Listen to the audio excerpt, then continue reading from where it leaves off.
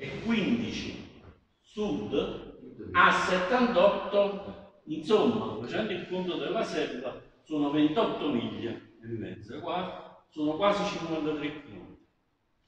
Quindi praticamente il ghiaccio si è ritirato da quelle parti nell'esterno in 20 anni di 53 km.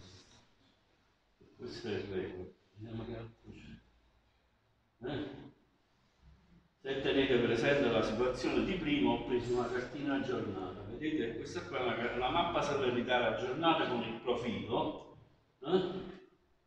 Questo fu il record dell'Italica, vent'anni fa. Qua, ho, messo, ho potuto metterlo con precisione. Qua porta meridiana e parallelo ed è una triangolare abbastanza. Questo è il parallelo di 78, questo è il parallelo di 78 e questo è e questo è il nuovo record, la pelle del. Vedete? Quindi questo dista dal parallelo, questo dista così, sono 50 km. Un record negativo. Ah, Cioè, Dipende il bicchiere come lo vogliamo Ah, a questo punto voglio dire una cosa importante che io ritengo importante, cioè noi non abbiamo serie storiche tali per poter dire il fatto è che il ghiaccio si sta sciogliendo, però non possiamo dire se è positivo, se è negativo, perché non abbiamo, non abbiamo gli strumenti, le serie statistiche nostre risalgono a 100 anni che pigliamo da per cui sono talmente pochi e onestamente però si innesca un meccanismo molto noto nelle accademie della ricerca la il sensazionismo che praticamente influisce sull'opinione pubblica Ora stanno morendo il fuoco, stanno morendo i pinguini il, il pubblico, il pubblico preme sul politico, o politico per pigliare i voti lo accontenta e dà i soldi per la ricerca, aumenta i fondi della ricerca. Questo è il circolo che si crea.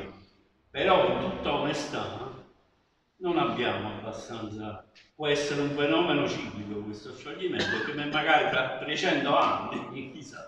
eh, Da quando, da quando facevamo storia, la storia. Noi abbiamo quelle, quelle serie statistiche nella Bibbia, della cosa, quei pochi dati, ma abbiamo dati praticamente ogni 10.000 secondo. anni, 10.000 anni. Eh, E che L'Homo sono? sapiens è cominciato a operare 20.000 anni fa. E quindi in onestà là. possiamo dire che questo sia un evento eccezionale e No, non non possiamo ciclico? Non possiamo dire. Però quando sentiamo si scioglie il ghiaccio, allora- Quello è un fatto che qualcuno può Si sta cioè, però poi lei diceva ma è positivo o negativo? Si sta da casa e stanno inquinando. Dico libro è un fatto positivo, no? Qui adesso bruciare questa casa. I giornali di stamane hanno iniziato la cronaca raccontando che addirittura dalla Cornovaglia, quindi in basso, hanno visto l'aurora boreale, dove per vederla precedentemente si doveva arrivare a Reykjavik in alto, eh, Narvik, nella parte e, e significa che il sole sta modificando. E allora ecco che può darsi che vi ricordate il eh, dottore Bifurco. Bifurco che ci ha parlato di un intervento dell'uomo nella modifica della temperatura del buco dell'ozono per una certa percentuale, ma gran parte è da attribuire alle variazioni del sole. E quella di stamattina, che l'aurora boreale si è vista insomma, quasi in Germania, e ci fa capire che effettivamente questo sole sta modificando i suoi parametri importanti Eh, di, di lancio di, Ma pure la della desertificazione sono tutti fenomeni legati alle infatti, infatti. le, le piogge equatoriali che fa qua, che queste piogge brevi e intense, sono tutti fenomeni che però, ripeto, non, non possiamo dire se siano ciclici o siano eccezionali. Almeno io credo di no. Non abbiamo gli elementi. Non abbiamo Andiamo sull'emisfero- andiamo sull'emisfero nord. Eh Sì,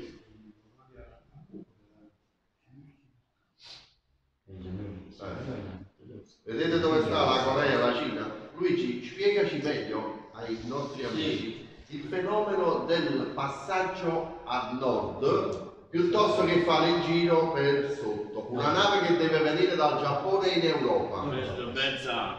praticamente qua non stiamo a spiegare, diciamo, teoricamente la cosa, però c'è un dato di fatto, con lo scioglimento dei ghiacci, eh, parliamo della Siberia settentrionale, eccetera, una nave che, ad esempio dalla Groenlandia, vuole andare in Cina, il che non è peregrino, perché tenete presente che la Cina ha comprato, ha già comprato l'esclusiva le terre rare, quello che abbiamo nei telefonini, già si è cattata la Cina. Quindi una nave che dalla, che dalla Groenlandia volesse andare in Cina, oggi con lo scioglimento c'è due alternative, una per sopra e un'altra per giù, tipo Mediterraneo, oppure Africa, eccetera, eccetera. Sotto lo YouTube. E c'è, credetemi sulla parola, c'è un risparmio, eh, diciamo, di miglia veramente rilevante. Per cui c'è la possibilità di studiare questo tipo di percorsi, il percorso alternativo. E, e, e in maniera simile è anche questa navigazione fra gli Bisogna cambiare la struttura dei Naturalmente non solo, ma qua siamo in pieno, siamo in pieno, poi qua subentra ecco la convenienza, l'economia, altre cose, però teoricamente quel passaggio è molto conveniente rispetto a quello meridionale. Si risparmia, adesso non ho i dati, eh, lo, lo, dissi poi a suo tempo, lo facendo proprio una, una conferenza. Sì, sì, sì, come navigare l'India, l'Africa per raggiungere i porti del sud-est asiatico piuttosto che farli, farli... Sì, questo sì. E questo è il famoso nord-est, quella immagine che vi ho fatto vedere con l'orso che cammina.